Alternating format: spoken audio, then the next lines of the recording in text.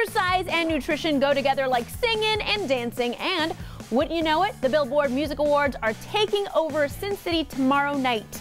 The big show airs on NBC, so we've got everything you need to know on the hot list.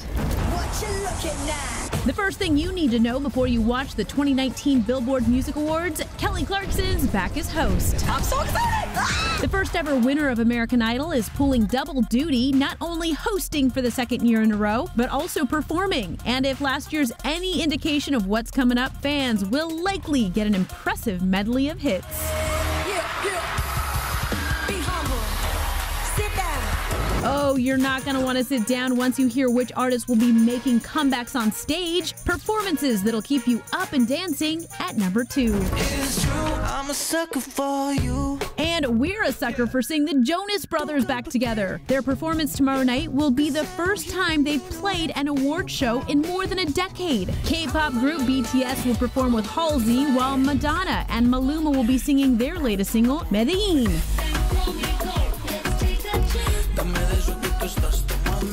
This will be Madonna's first televised performance of new music in four years. Paula Abdul and Khalid will also be performing, and Taylor Swift will open the ceremony with her brand new single, Me, featuring Brendon Urie of Panic at the Disco.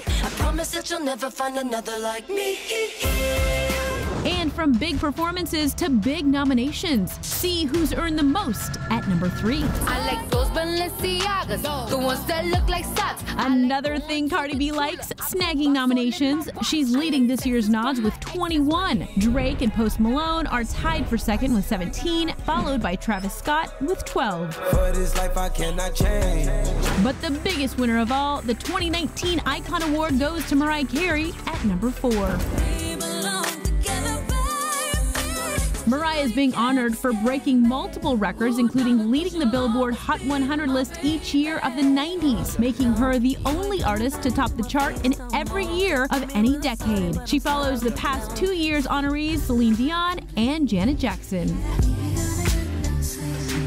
Well, we're not getting any sleep either, keeping up with the best of this year's Billboard Music Awards on the Hot List.